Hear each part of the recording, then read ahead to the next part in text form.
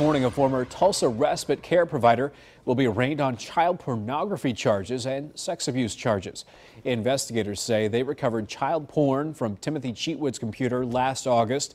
Cheatwood is also charged with sex abuse against a child under 12 years old, as well as manufacturing and distributing child pornography.